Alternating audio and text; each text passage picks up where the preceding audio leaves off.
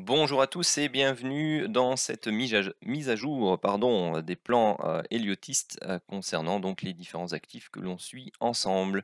Alors on va commencer par le Dow Jones. Donc on s'était arrêté sur euh, cette possibilité-là. donc je n'ai pas modifié les tracés depuis tout simplement parce que c'est pas la plateforme sur laquelle je travaille d'habitude, donc vous avez encore le, le plan de la semaine dernière. Donc c'était d'anticiper donc une baisse jusque ces niveaux-là, donc les 37 800 plus ou moins. Donc vous voyez qu'on a été faire ici une mèche dessus et puis on a rebondi. Donc je vais ici pour le moment enlever tout ça. Je vais enlever ce qu'on avait dessiné ensemble pour la réalisation du triangle parce que on a deux, deux scénarios principaux qui peuvent se produire maintenant. Alors, quels sont-ils? Ils sont les suivants. Donc, soit on a effectivement fait ici notre vague A du triangle, notre vague B du triangle, ici notre vague C du triangle et on doit s'attendre, donc, comme c'était dessiné avant, à, quelque chose, est mon pinceau, quelque chose comme ceci, vague D, vague E, et ensuite on reprend à la hausse. Donc ça c'est le scénario pour le triangle. Dans quel cas notre vague 4 euh, se terminerait donc Hop, voilà, on enlève le pinceau, se terminerait donc quelque part euh, par ici il existe un scénario où l'on peut avoir une structure qui soit de type running, donc c'est-à-dire que vous voyez ici que la vague C pour l'instant est plus haute que la vague A, et celle-ci pourrait être donc une vague C tronquée qui permettrait d'avoir une relance directe et donc une fin de vague 4 ici. Alors ce sont jamais mes scénarios, on va dire statistiquement préféré, enfin si je peux dire préféré, je trouve pas le mot exact, mais en tout cas au niveau des, probabilités de réalisation, ce sont pas les structures de prix les plus, les plus probables. Donc elles peuvent arriver, elles peuvent arriver surtout dans un run haussier, c'est-à-dire où vous avez vraiment les vendeurs qui sont absents et qui n'arrivent pas à, enfoncer les prix et à faire un plus bas par rapport au dernier plus bas précédent. Ah, donc, bon, voilà, on est dans un run haussier, mais on sent quand même qu'il y a pas mal d'hésitation au niveau des indices pour le moment donc je vois pas, forcément, de manière statistiquement enfin de probabilistique pardon, un running ici. Donc moi je m'attends plutôt au scénario en triangle. Si jamais on devait avoir quand même le running eh bien, tout simplement début de semaine ici, vous devriez avoir quelque chose comme ça, éventuellement un pullback, après et ensuite un départ pour donc faire ici une, vague 1, une vague 2 et repartir directement, après. Alors pour pouvoir entrer en position sur un running, il faut attendre sur des unités de temps inférieures tout simplement des corrections.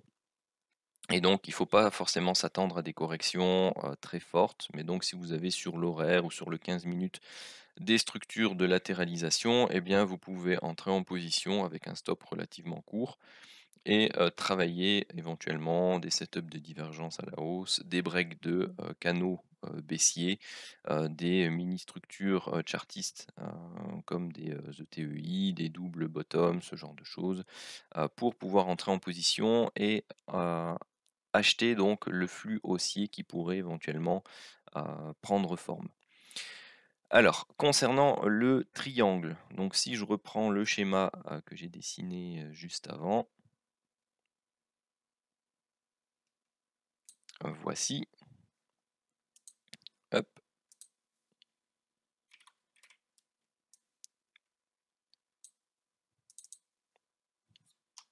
Je vais vous mettre la notation.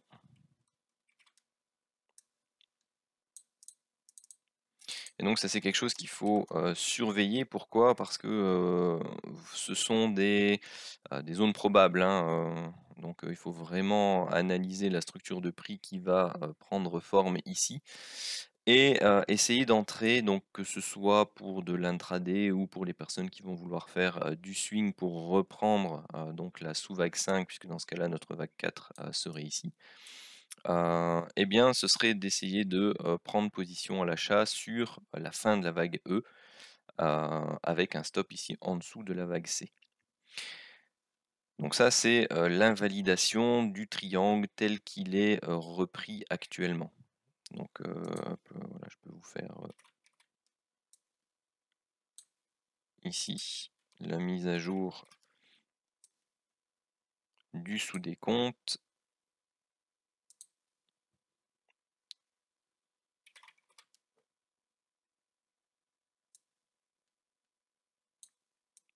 Hop, voilà. Et là, pour l'instant, on serait quelque part au niveau de la A. Donc pour ceux qui veulent faire de l'intraday, vous pouvez attendre la correction ici de la sous-structure B qui vous permettra d'entrer à la fois dans le sens du running potentiel mais également de la poursuite de la vague D. Et donc bah, bien faire attention éventuellement de sécuriser ou de prendre déjà des profits sur des niveaux clés comme sur cette zone ici des 35 250, 300.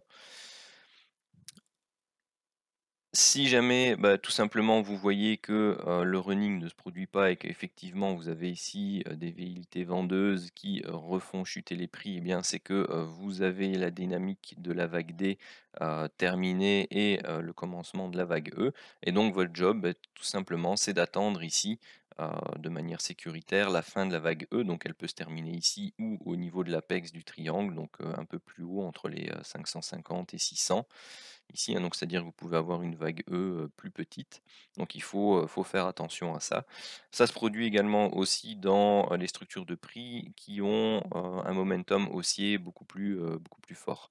Donc ici, dans un premier temps, moi je m'attends plutôt à aller essayer de rechercher la zone basse de l'oblique support formé par le, la vague A et la vague C.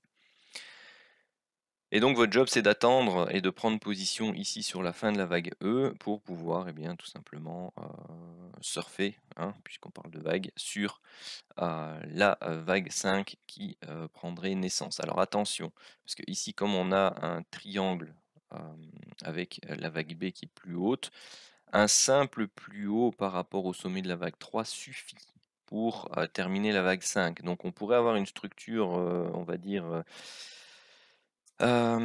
piégeuse où vous avez tout simplement ici un plus haut par rapport à la vague 3, on pense casser le triangle et puis derrière boum et vous avez ce qu'on appelle en fait une vague 5 qui paraît tronquée. Pourquoi? Parce qu'elle n'est pas plus haute que la vague B ici, mais suivant les règles de construction héliotiste, vous avez un plus haut par rapport à la vague 3.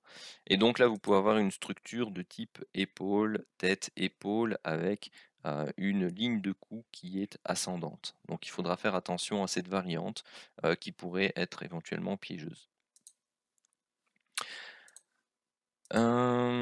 C'est tout ce que je voulais vous dire sur le Dow Jones. Donc on va passer à l'actif suivant.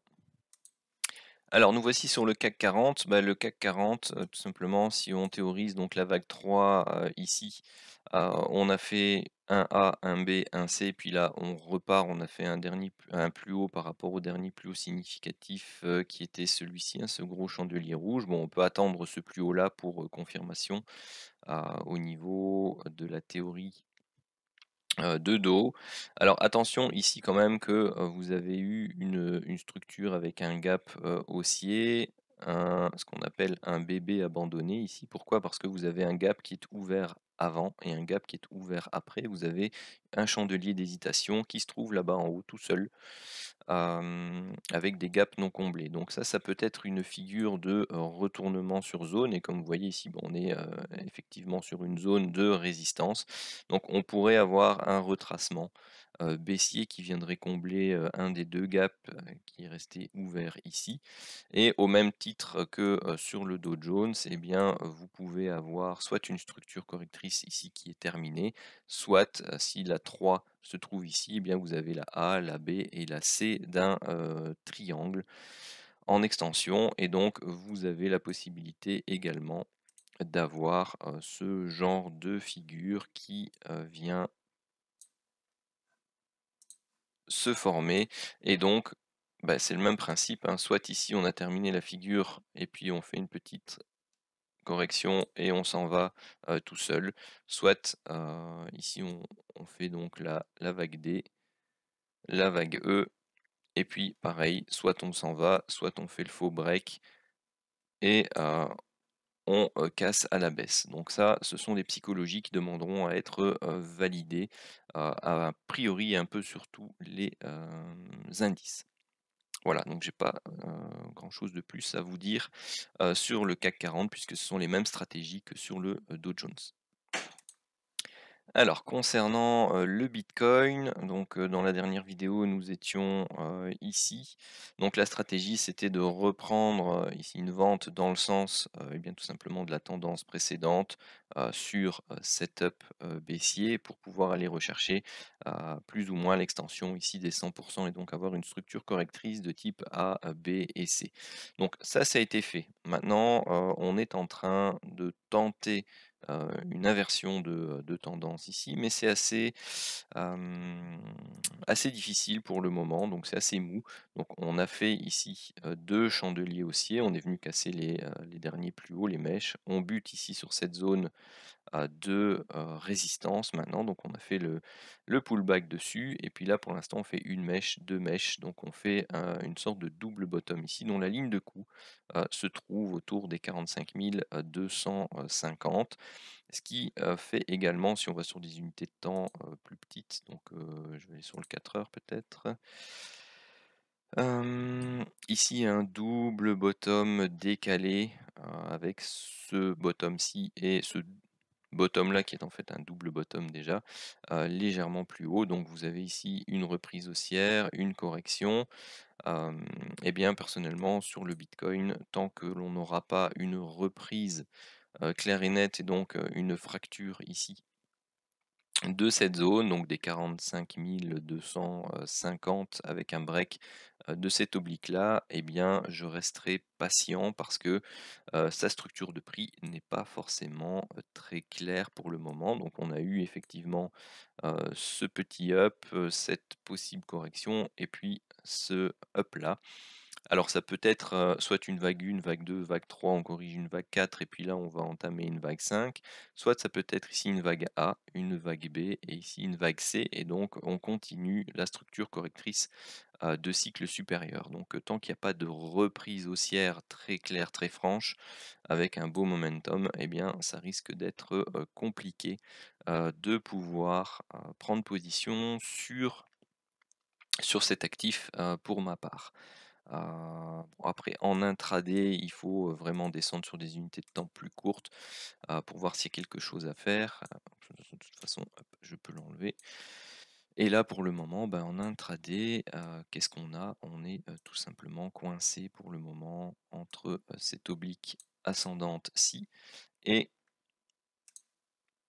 cette oblique descendante là que l'on vient de casser par le haut. Donc si ceci est, on va dire un triangle chartiste, ou un triangle, donc si on a une vague, une fin de vague ici, on a une A, on a une B, on a une C, on a une D, on a une E, ici. Donc au niveau Elliott, si ceci doit être considéré comme un, triangle, bon bah, on a la possibilité de travailler des ventes, mais personnellement, je n'interviendrai pas sur cet actif car pour moi, il n'est pas très très clair pour le moment. En tout cas, on est en plein milieu, pardon, en plein milieu de zones. Voilà, si on devait éventuellement aussi travailler un futur canal haussier, bah, vous voyez qu'ici on est en plein milieu. Donc vraiment, pour moi sur cet actif, c'est patience. Alors, nous voici sur l'euro USD, donc là je suis directement passé en horaire. Alors vous voyez que pour l'instant on n'a pas franchi les derniers plus bas qui ont donné naissance à cette impulsion-ci. Donc on attend, un peu comme sur les autres actifs en, euros, tout simplement eh bien, la reprise de la tendance haussière. Donc ça, c'est ce que je vous avais tracé la semaine dernière. Donc je vous avais dit que je m'attendais à un petit up, une correction au maximum jusqu'à ces niveaux-là, et puis une reprise. Donc c'est ce qui s'est passé. On est venu rechercher ces niveaux, on a fait une reprise, mais on bute sur cette zone. Donc ici, à l'ouverture, eh bien tout simplement, on continue de corriger. Donc idéalement, on ne repasse plus en dessous des 1,16, 83. Euh, pourquoi? Parce que si ceci est une impulsion haussière, ceci sa correction, et eh bien, pour entamer une vague 1, une vague 2, eh bien, on ne peut pas franchir ces niveaux-là. Donc si on franchit ces niveaux-là, ça devient délicat parce qu'on a notre zone précédente qui est celle-ci, les 1,1664, qui ne doit pas être franchie sous peine de voir notre scénario de reprise haussière invalidé et plutôt d'avoir eh bien tout simplement une structure ici qui demande à être terminée en 5 temps avant de pouvoir entrer de nouveau à l'achat. Donc là vous avez pour l'instant des zones d'invalidation de scénario haussier et il convient tout simplement sur l'euro USD également d'être patient et d'attendre tout simplement que le marché eh bien, vienne tout simplement valider nos zones de support pour que l'on puisse, et eh bien, tout simplement, pour ma part, renforcer à l'achat et pour d'autres, et eh bien, tout simplement rentrer en position. Alors pour l'instant, ça semble pas, pas évident, hein, puisqu'on a quand même un fort momentum baissier, mais vous avez le, la zone limite ici au niveau des 1,1664. Alors nous voici sur Navia en, en horaire. Et un peu comme sur l'euro USD, hein, on est à la limite de zone importante, donc au niveau des 1.600 660 on va dire, donc c'est le niveau à ne pas franchir la baisse pour garder notre scénario ici d'impulsion haussière de vague 1 valable. Donc ici qu'est-ce qu'on a eu? On a eu plutôt une première vague correctrice on a eu sa correction, où on fait le, triangle ici, et donc là on arrive dans une zone, vous voyez, où elle consolide. Alors qu'est-ce que l'on peut avoir ici comme structure? Eh bien pour moi c'est plutôt ici une structure de sous-vague 4 avec un dernier plus bas pour aller rechercher des zones de support juste en dessous, donc ici au niveau des 1,70, 1,68, 1,70 grand maximum. Hein. Vous savez qu'on ne peut pas descendre, donc je viens de le dire ici en dessous. Mais vous avez ici cette structure de type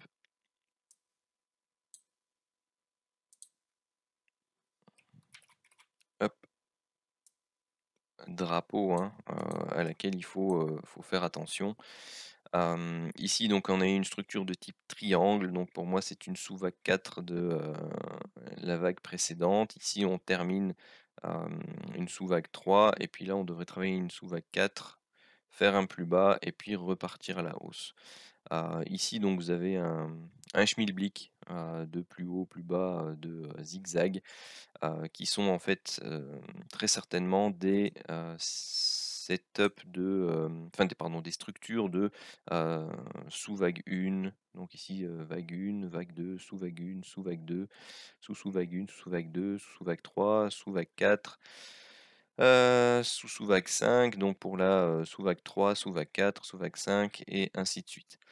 Donc, il faudra voir comment ça se déroule parce que le fait qu'on ait ici ce genre d'imbrication, c'est pas forcément non plus bon signe puisqu'on a toute une série de sous-vague 3, sous-vague 4, sous-vague 3, sous-vague 4 à finaliser dans ce qui devrait être en fait une sous-vague C de la vague 2 ici correctrice. donc voilà, pour l'instant, euh, où est mon rectangle? Il est ici quelque part. Euh, voilà, vous avez une zone vraiment support importante ici que je ne veux absolument pas voir franchir. Pour le moment, euh, moi je ne passe pas à l'achat dans ce genre de structure. éventuellement, une vente si jamais on vient la casser pour aller rechercher une zone plus bas, mais vraiment très light et avec des stops relativement courts. Pourquoi? Parce que ça permet aussi d'être positionné dans une reprise baissière si jamais ce décompte-ci en fait eh bien n'est pas un décompte impulsif. Vous avez une variante qui peut être ici une vague A, une vague B, une vague C pour une W, une X sous forme de triangle et une ça n'arrive pas souvent, mais une Y sous forme de triangle. Et donc vous avez ici le A, le B, le C, le D et le E, et vous avez votre fin de structure correctrice euh, ici. Et donc dans ce cas-là, euh, là vous partez avec une vague 1, une vague 2. une vague 3, une vague 4 et puis là vous travaillez, la fin de la vague 5 donc vous êtes, potentiellement également dans le bon sens pour un, comment, ce scénario-là, d'une reprise baissière pour aller rechercher un nouveau plus bas en dessous de cette zone. donc si on se place en journalier le plus bas, sous cette zone et bien, serait, tout à fait, possible, hein, de toute façon. Mais, pour moi, ce serait pas très, encourageant, pour la suite. Pourquoi? Parce que vous avez une zone, bah, tout simplement la zone ici des 78,6 autour des 1,38 et ensuite, le canal le bas de canal baissier qui serait ici autour des, 0,95, 1. Alors nous voici maintenant sur, l'or, donc le gold, sur lequel bien on recherchait tout simplement des points d'entrée aussi pour, un achat, pour une, épaule, tête, épaule inversée. Et donc on travaillait la structure correctrice, qui se trouvait ici et eh bien tout simplement, je vous expliquais que j'attendais face à cette impulsion baissière-ci une, correction, de cette impulsion que bon, j'avais, travaillé sous forme de triangle mais qui s'est, révélée pour l'instant être, un peu plus profonde et ensuite, une dernière baisse pour faire un dernier plus bas avant de pouvoir, et bien, prendre position à l'achat pour, retenter, de reprendre le flux haussier. Alors, qu'est-ce qui s'est passé? Eh bien, on a, bien eu ici cette, correction, puis derrière maintenant on travaille une, structure, pour l'instant un temps, deux temps, trois temps, quatre temps. Éventuellement on pourrait avoir donc je vais enlever ça et tout ça.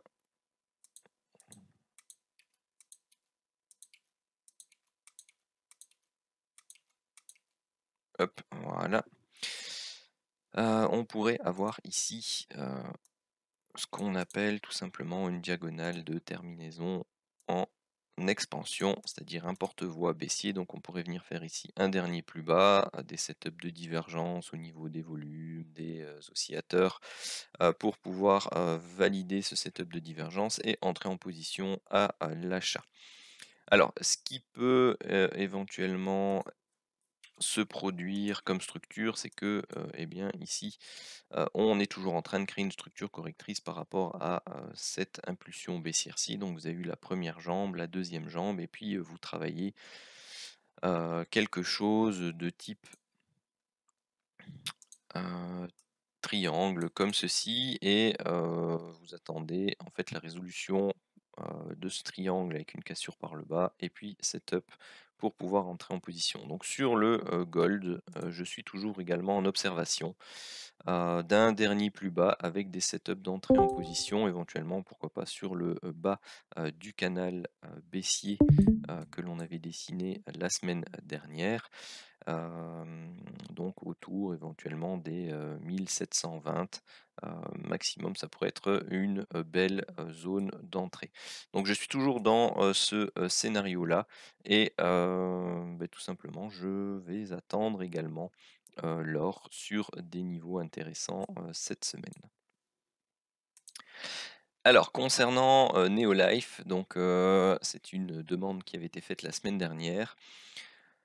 Nous sommes ici sur le graphique journalier. Qu'est-ce que l'on peut observer? Donc vous avez en vert mes zones de support, en rouge les zones de résistance. Vous voyez qu'ici on est en plein milieu entre deux zones relativement importantes.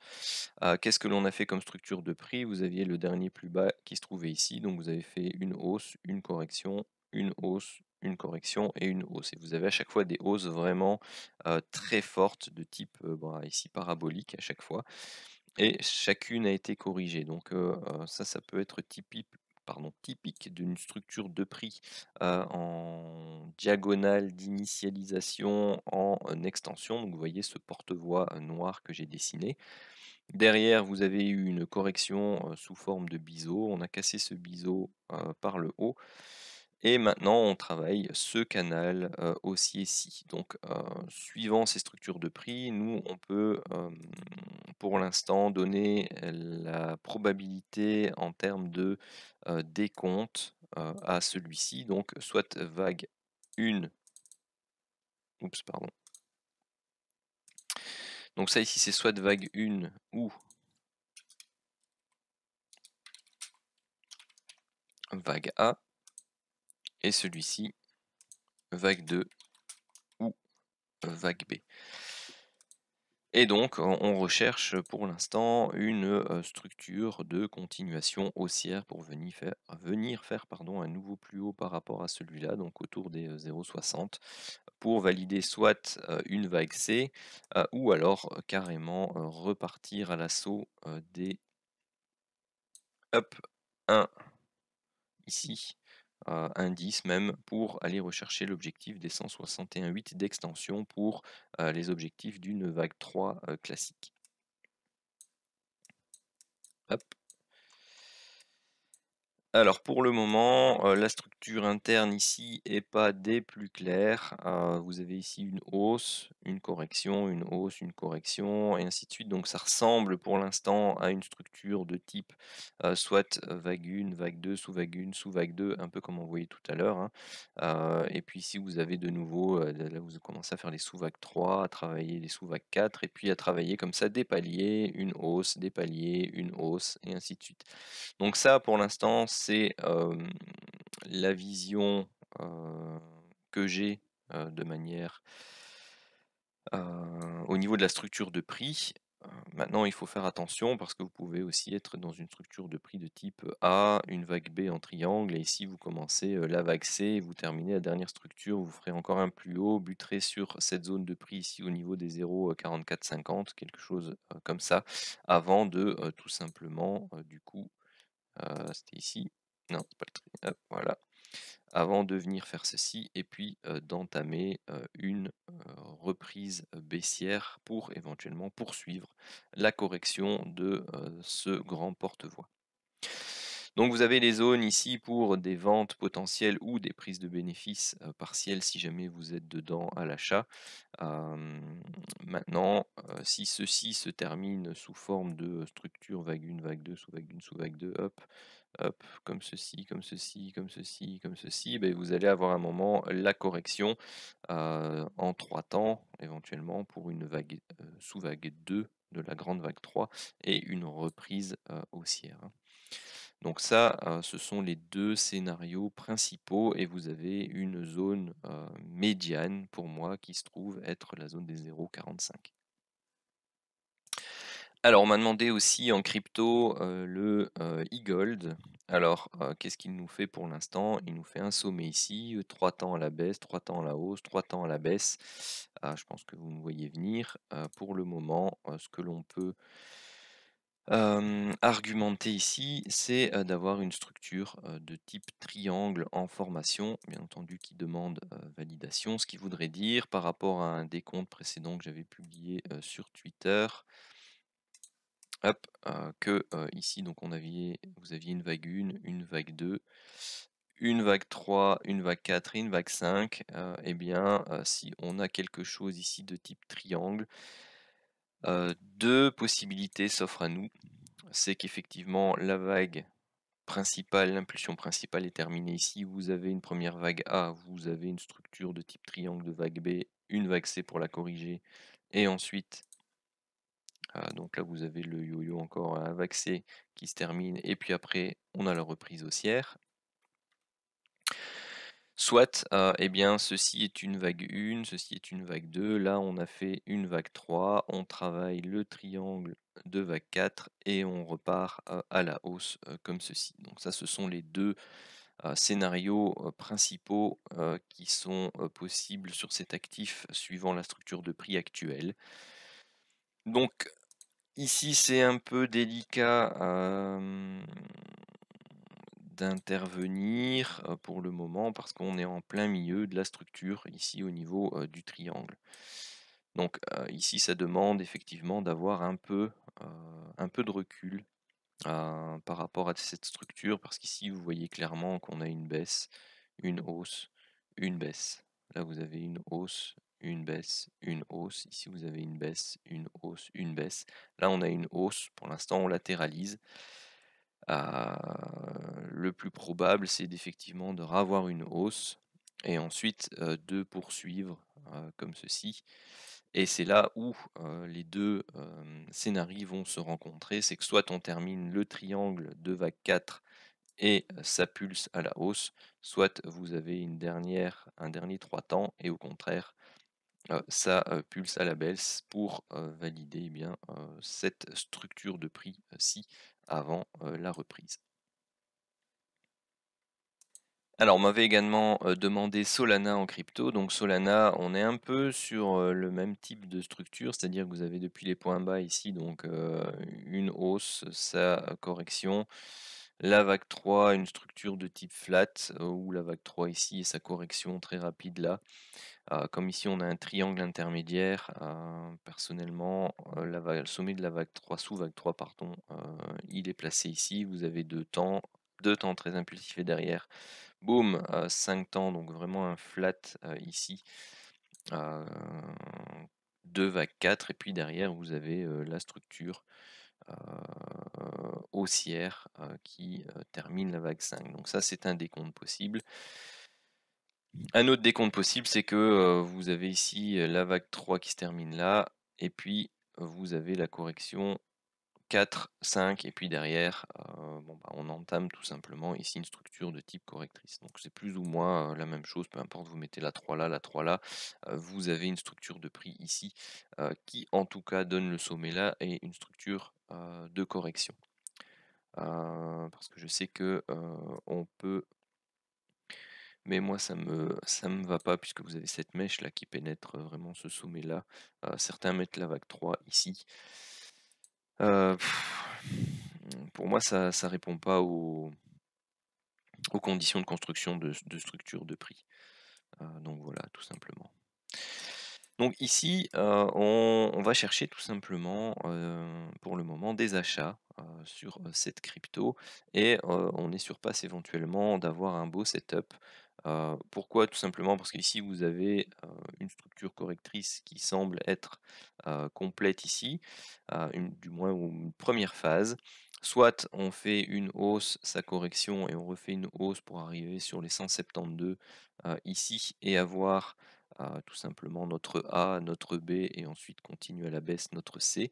Soit, et eh bien ici on a déjà fait notre structure complexe de correction, on a fait notre vague 1, notre vague 2 et on cherche à reprendre une hausse pour la vague 3. Donc les deux scénarios principaux ici tendent dans le même sens. Donc moi j'aurais plutôt tendance sur cet actif dans un premier temps à regarder les éléments à la hausse. Alors, qu'est-ce qu'on a sur l'unité de temps horaire? Sur l'unité de temps horaire, eh bien, on aurait déjà pu entrer en position, tout simplement parce que vous avez eu ici la cassure à ce niveau-là de ce biseau descendant correctif. Alors donc ici, pour ceux qui ne sont pas encore dedans, on a la possibilité, et là il va falloir attendre la la validation d'avoir ici une sorte de biseau ascendant, donc une diagonale de d'initialisation, donc une vague 1, vague 2, vague 3, vague 4, vague 5 ici, et donc une possible correction pour aller rechercher ce niveau-là, donc le niveau des 132, 50, 133, avant de repartir de plus belle sur cet actif. Donc en tout cas, au niveau de la structure de prix, pour l'instant, c'est ça que ça m'inspire. Et ici, si on place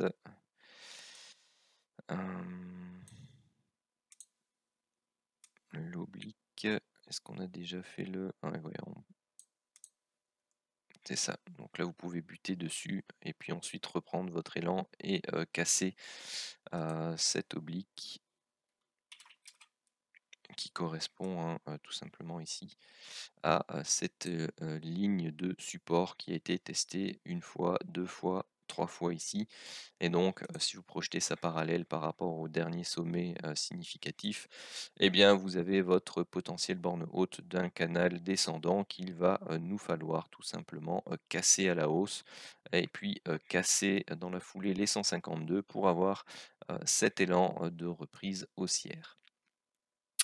Voilà qui termine cette vidéo d'analyse Elliott. Je vous remercie de l'avoir suivi. Surtout, ben, n'hésitez pas à me poser vos questions dans les commentaires de la vidéo. S'il y a quelque chose qui vous titille, n'hésitez pas non plus à laisser en commentaire des actifs que vous voudriez voir analyser. N'hésitez pas non plus à laisser des pouces, tout simplement pour promouvoir la chaîne. Et un tout grand merci à vous. N'hésitez pas non plus à vous y abonner. Sur ce, je vous dis à bientôt.